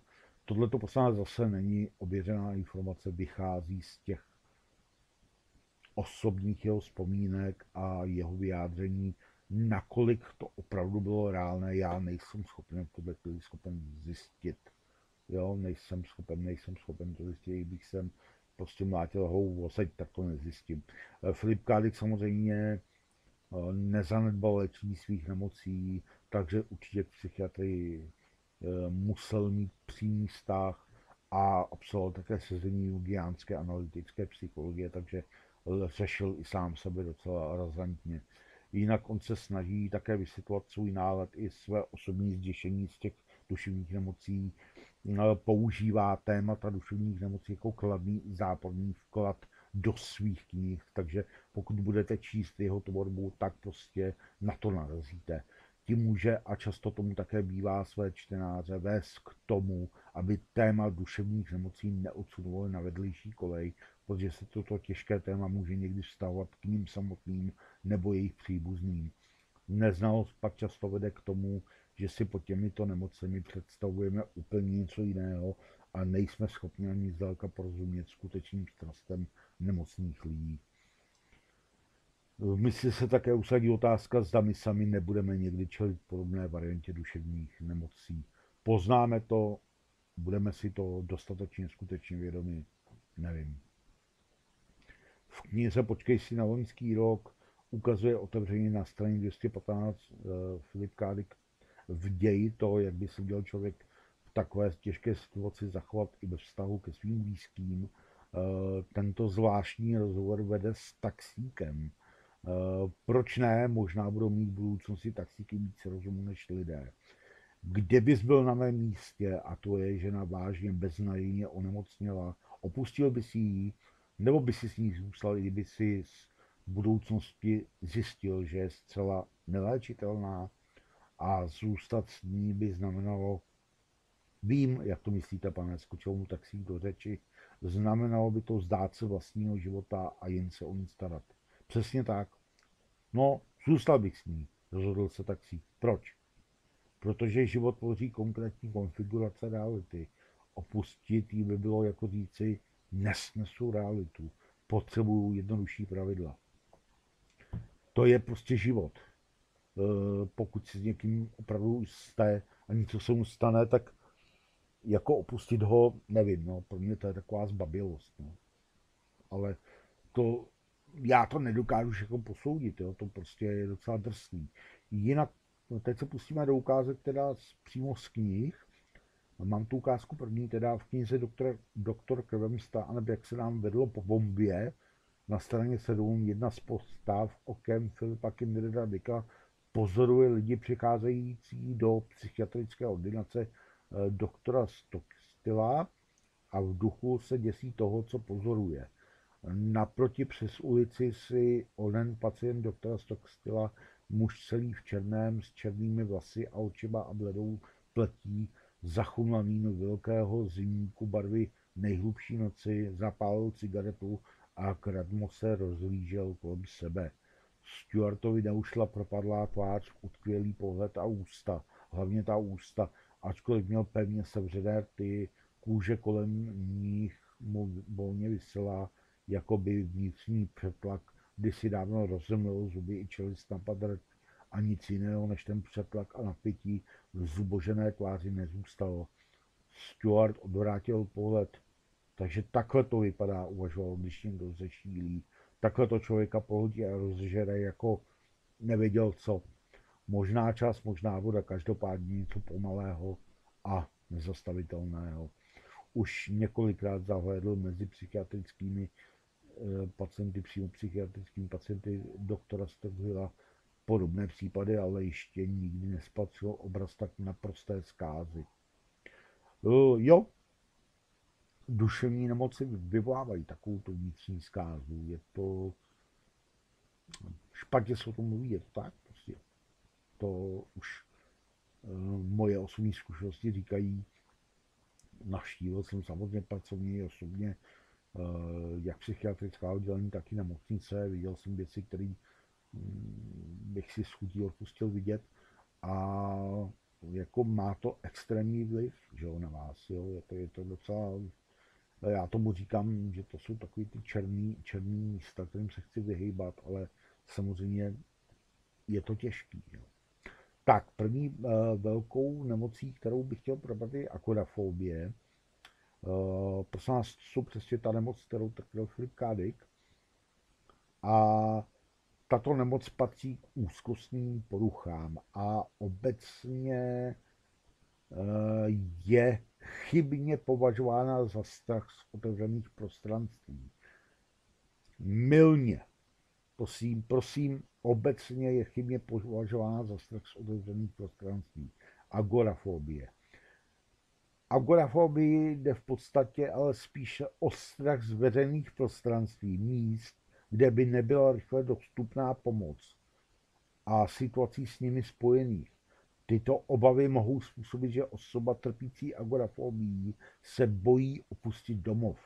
Přitom ale může například přijímat návštěvy a pracovat, aniž by se porucha projevila, pokud ovšem zůstává ve své bezpečné zóně. Eh, bezpečná zóna. Bezpečná zóna. Název má původ v řeckých slovech agora a phobos. Slovo agora ve staré řečtině znamená kde se schromažďují lidé a Phobos je Phobos. Lidé trpící agorafobií mývají těžké záchvaty paniky, pokud se cítí lapení, nedostatečně chránění, pokud mají pocit, že ztrácejí kontrolu nad situacemi, nebo jsou příliš daleko od své bezpečné zóny. Během silných záchvatů úzkosti mohou být agorafobici uvěznění v domě v určitém pokoji nebo i upoutání na lůžko, než se jejich podráždění nervový systém uklidní a hladina adrenalinu se vrátí na normální úroveň. Lidé trpící touto úzkostnou poruchou jsou často přecitlivělí na své tělesné reakce a podvědomě přehnaně reagují na úplně běžné a normální situace. Například úsilí vynaložené na vyjítí schodů si může agorafobik vyložit jako příčinu záchvatu paniky, protože zrychluje puls a dýchání. Poruchy se projeví většinou po 30. roce života, jen zřídka, kdy vzniká v dětství nebo po dosažení 45 let. Průběh agorafobie je chronický. intenzita přitom kolísá. Tato nemoc se teda u Filipa Kádika projevovala v období mezi roky 1944 až 1946 a potom i v roce 1947 kvůli nemoci strávil psychiatrické léčebně uvedené období a postoupil intenzivní psychiatrickou léčbu agorafobie. Takže prosím vás, na to existují nějaké záznamy, na to existuje samozřejmě podklady. Takže toto je zdokumentováno. Eh, to znamená, je tady, když se podíváte na ta data 1944, 1946, 1945, mezi tím, že 1947, tak to je hodně dlouho předtím, než vůbec se dostal k jakékoliv droze. Jo? Takže pokud mi někdo bude tvrdit blud, že za jeho duševní nemoci mohou drogy, ne, opět jste na mílce. Zjistěte si, kdy už Filip Kády, třeba v dětství nebo mládí, trpěl nějakou nemocí. Zjistěte si, kdy se narodil, kdy byl hospitalizován. Jde to zjistit. Pak druhou nemocí, kterou trpěl Filip Kádik, je schizofrenie, eh, což je duševní porucha charakteristická selháváním myšlenkových procesů a sníženou schopností vnímat emoce a reagovat na ně. Nejběžněji se projevuje sluchovými halucinacemi, paranoidními či bizarními bludy nebo zmatenou řečí a myšlením a jde v ruku v ruce s rozsáhlou sociální či pracovní dysfunkcí. V knize Dokážeme vás stvořit se Dick dotýká podstaty schizofrenie, vysvětluje její podstatu a různé projevy. Na hlavním hrdinovi na hlavním hrdinovi Luizovi Rozerovi ukazuje příkladně, jak se nemoc projevuje. Ukazuje temnou hloubku neschopnosti bez pomoci druhých této nemoci čelit. Představuje v knize i soudobý americký přístup k duševním nemocem a průběhu hospitalizace ve zdravotnických zařízeních. Žádná teorie, prostě praxe. V další eh, knize doktor Kovem stánem, jak se nám vedlo po bombě, na straně 188 komentuje skrze své postavy schizofrenii takto. Pane Bože, vydechl Bardes, vždyť on neví, o čem je řeč, je duševně nemocný. Řekl to doktoru Stockhillovi, pane doktore, není schizofrenie v podstatě stav, kdy člověk ztratí povědomí o své kultuře a jejich hodnotách. E, docela by mi to na něho sedělo, jen si ho poslechněte. I v následné knize Marzovský zkus v čase na straně 140 se pokouší nemoc definovat Filip Kádik skrze jednu z postav takto. Obecně řečeno, schizofrenii lze poznat podle toho, že pacient bojuje sám se sebou. Prvním příznakem je často to, že postižená osoba nedokáže jíst přítomností jiných lidí. Dále uvádí příklad schizofrenního strachu a paniky eh, další postavy na straně 161 v téže knize. Viděl jsem to u mého bratra, pokračovala. Schizofrenní záchvat paniky. A kdo to jednou viděl, ten na to nikdy nezapomene. Nemůže, nedokáže zapomenout. Kolem schizofreniků se bortí celá skutečnost, jejich vnímání času a prostoru, příčin i následků. Děje se něco takového s tebou? hovoříš tak, jako bych na tu schůzku s Arným nemohlo mít vliv nic z toho, co uděláš. Ale takové uvažování, to krok zpátky, regrese, vyhýbáš se odpovědnosti za svoje rozhodnutí, které přece každý dospělý člověk musí mít. Asi nejděsivější vysvětlení následků schizofrenických vizí vidí samozřejmě očima své postavy ve stejné knize na straně 113, kde je uvedeno, o to právě jde. Člověk má utéct. Vize schizofrenická má zničit jeho vztahy s jinými lidmi, ode všeho jej izolovat. Jestli je účinná, dojde k přerušení kontaktu se skutečností. To mají lékaři na mysli, když říkají, že název schizofrenie není diagnóza, ale prognóza. Neříká nic o tom, jak na tom je člověk teď, ale všechno o tom, jak bude jeho život pravděpodobně pokračovat dál. Pak tu máme paranoju Myslím si, že paranoia je v některých ohledech moderní verzí pradávného archaického pocitu, který stále mají zvířata, tedy zvířata, která jsou něčí kořistí.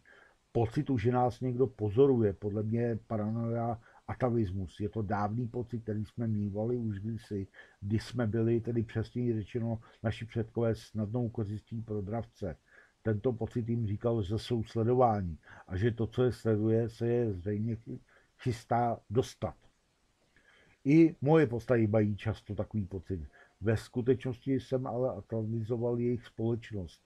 I když je zasazená do budoucnosti, v mnoha ohledech jsou jejich životy jaksi opožděné. Víte, žijí jako kdysi naši předkové. Tím chci říct, že technické vybavení patří do budoucnosti.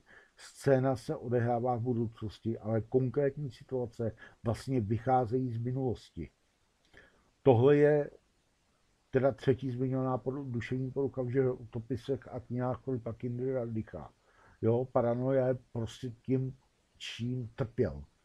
Řecky je to pošetilost, teda šílenství, paranoia, což je duševní porucha vyznačující se bludy, chromnými představami o vlastním ohrožení a stěhomamem. Přehnané a nedoložené obavy o vlastní bezpečnost, někdy spojené s konspiračními teoriemi, se nazývají paranoidní.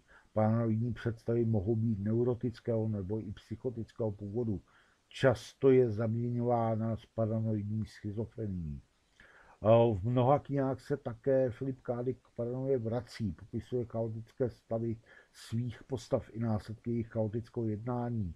Například v knize Doktor Kovem stáne, jak se nám vedlo po bombě, na straně 9 uvádí základní projekt nemoci. Čtou mi myšlenky a komentují můj soukromý život. A to do nejmenších podrobností. Jsou napojení na můj mozek. Paranoia senzitiva. Pokud je takový člověk veřejně činný, jako je uvedeno ve stejné knize na straně 53, tak je to ještě více děsivé než obvyklé. Veřejnost vytušila, že s Blugheldem je něco v nepořádku. Z jeho projevů čišla posedlost a morbidita, byly protchutné utrpení, které se zračilo i v jeho tváři. Neustále hovořil o nepříteli, o jeho infiltrační taktice, o jeho systematické kontaminaci všech amerických institucí, škol a organizací, gonce i domovů. Viděl nepřítele všude v knihách a filmech, v lidech, politických organizacích, jež prosazovali opačné názory než on. Samozřejmě své názory vyjadřoval inteligentně. Nebyl to žádný užvaněný, užvaný venkovský balík kde pak tu hovořil stylově, učeně, vzdělaně, naprosto promyšleně. A přesto to v důsledku nevyznívalo o nic příčetněji, o nic rozuměji a střízlivěji než pilecké bláboli toho starého sukničkáře a kořaly Joe McCartneyho nebo kohokoliv jiného z té sebranky nahoře. To vlastně komentuje tu, tento Nixonův uh, život za toho Nixona, že jo? jo za ten, ten Nixonův strach, jo? Je to vlastně, jak popsat Nixona, že jo? Úplně stejným způsobem. Já si dovolím rozsvítit. Tak. Jinak sám Dick měl s svou nepříjemnou životní zkušenost známá je veřejně jeho příhoda ze 17. listopadu 1971, kdy se mu někdo v jeho nepřítomnosti vloupal do jeho domu. Byla to realita nebo skutečný záchvat? Dick byl osobně přesvědčen, že to, byl, že to byla CIA. Tato znepokojující událost odstartovala a zároveň utvrdila v Dickovi přesvědčení, že je mu někdo v patách a že je neustále trval sledován. Zloději nic ceného sice neukradli, jen pouhé netrvanlivé potraviny. Eh, větší znepokojení u Dicka vyvolalo zděšení z poškození jeho sejfu tom sejfu měl uloženy nedopsané rukopisy knih, které zmizely. Znepokojení v něm ale vyvolalo i to, že sejf byl dle Dika otevřen za pomocí výbušnin a tedy to ukazuje spíše na cílenou vojenskou akci. Jinak ta událost je dále zpracována i v knižním a filmovém zpracování románu Rádio Svobodný Albemut. Jo, doporučuji. Tam je to krásně udělaný. Jo. Ten film u nás není známý, samozřejmě dá se pořídit určitě bez problémů, ale říkám, tam je to zpracované, jo. Tady se vůbec do Evropy tam nedostal, takže to je jenom americká tvorba, no. Samozřejmě já jsem ji viděl, jo, upřímně. Viděl jsem ji a je to zpracovaný přesně jako, tohle přesně ta událost, eh, která patří mezi ty události, která má 10 verzí. A hodně těžce se pátrá po té skutečné verzi. Protože uh, i v těch, zase těch rukopisech, které se odkrývají u Pakádika v té pozůstalosti, jsou právě ty okopírované materiály z toho CIA a VI a mám pocit, že tam řeší tuhle tu věc, jo. takže uh, Filip byl samozřejmě sledovan do opravdy. Tady to je ještě k tomu vysvětlení. K tomu je ale také důležité vidět, že Filip Kádek byl, určitě nebyl jen pouhým spisovatelem. V podstatě je nutné uvést, že na veřejnosti se kriticky stavil k americké vládě a Nixonův aparát veřejně označil za bandu zločinců. Dostal se i do pozornosti undergroundové kultury a to po otištění svého článku v hudebním časopisu Rolling Stone. E, stal se díky těmto iniciativám hodně známým a slavným i v kruzích antiamerické mládeže. Díky svému postoji byl, jak to vnímal, vystaven policejnímu teroru ze strany severokalifornských úřadů, proto na čas opustil Spojené státy a odjel do Kanady. Teprve v roce 1972 se vrátil do Los Angeles na jih, na jihu Kalifornie. Během 60. let 20. století také kritizoval válku ve Větnamu a postoj americké vlády. Roku 1968 se zúčastnil protestu nazvaném Writers and Editor Bartex protest, jo, to znamená, že to byl vlastně spisovatel a editoři, eh, který protestoval proti válečné daní, ve kterém některý spisovatel odmítli teda platit daň z příjmu jako způsob protestu. Finanční úřad IRS mu za, poté zabavil automobil. Při pročítání díko, díkových děl, díkových, díkových děl je často ale naprosto relevantní, že hlavní hrdina trpí paranoiou a to z toho důvodu, že konspirační teorie a z nich vyplývající paranoje je většinou drsně pravdivá. Dikovský hrdina se také musí protloukat světem nebo světy, jich přestávají platit naše poměrně lidská obecná pravidla – Platí tak nepsané pravidlo paranoika, že když to hrdinovi dojde, tak to asi bude pravda.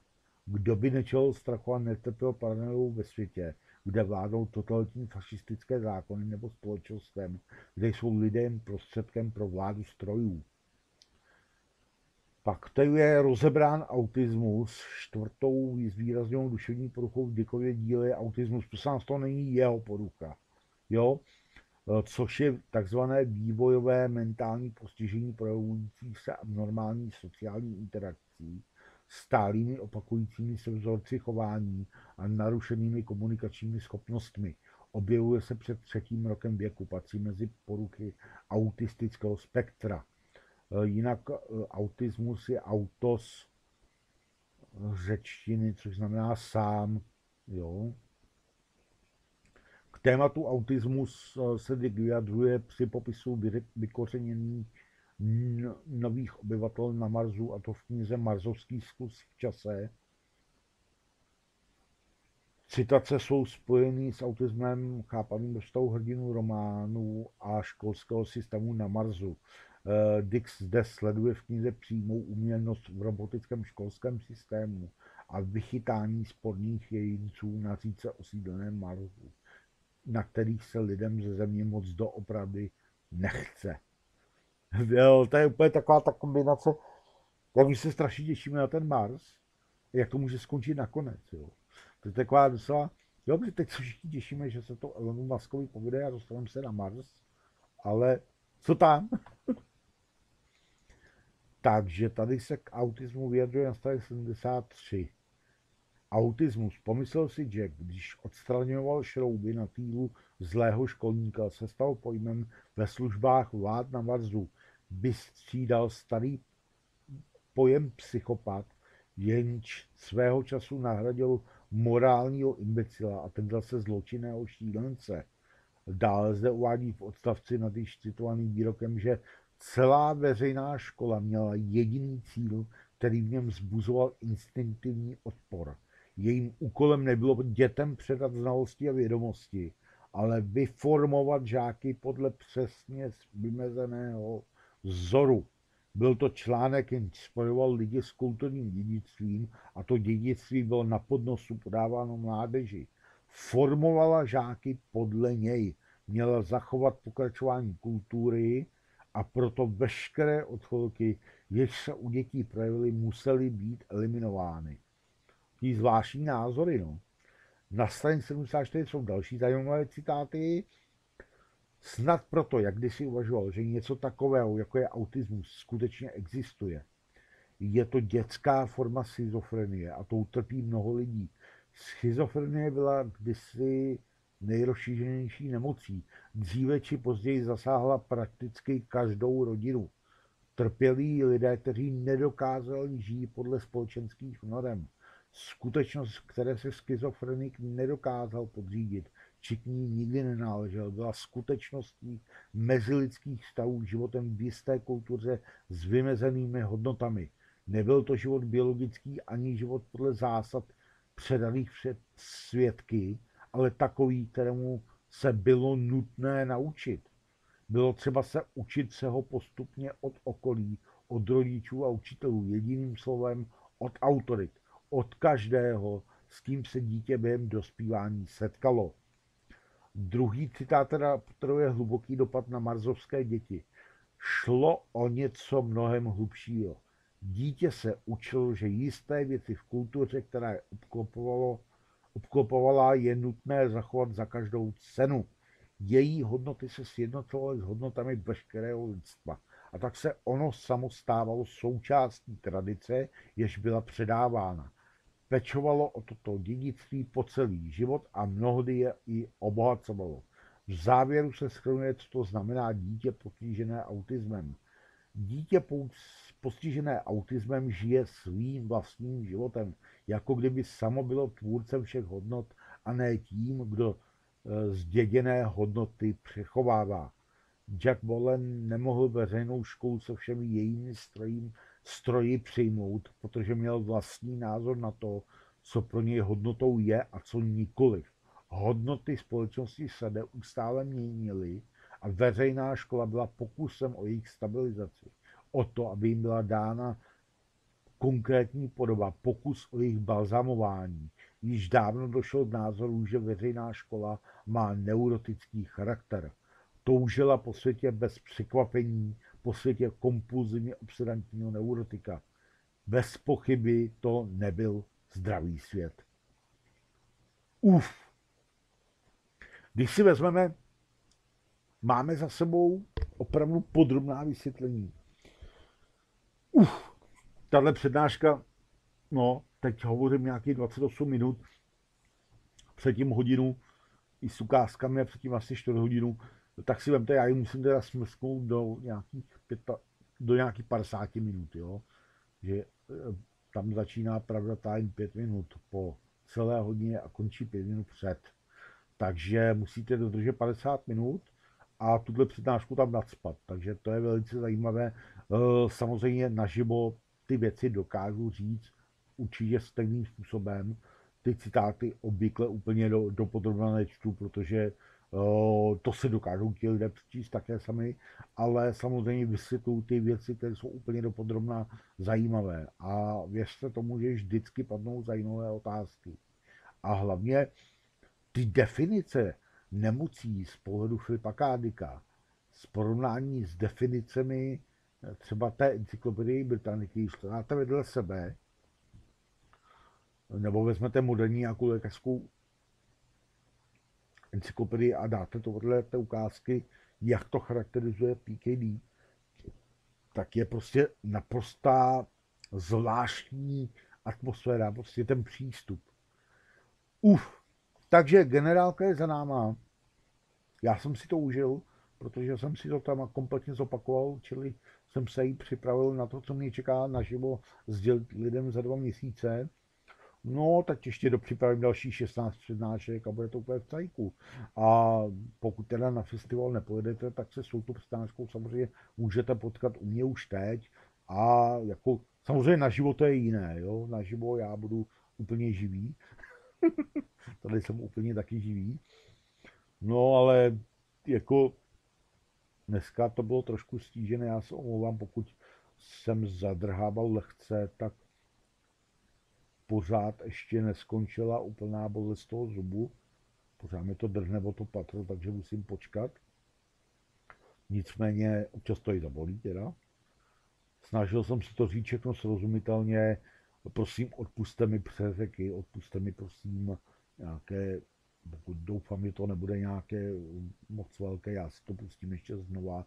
Uh, toto je prosím vás minimálně čtvrtá verze, kterou nahrávám a u těch předchozích verzí prostě jsem těch přeřeků měl tolik, že já jsem o nich nevěděl a pak si to poslechnete a říkáte, hm, tak to je na přetočení. Hm, tak začneme znova. Takže doufám, že tahle verze bude konečná, bude dobrá. Tím naše generálka končí a opatrujte se. Opravdu se opatrujte. Děkuju.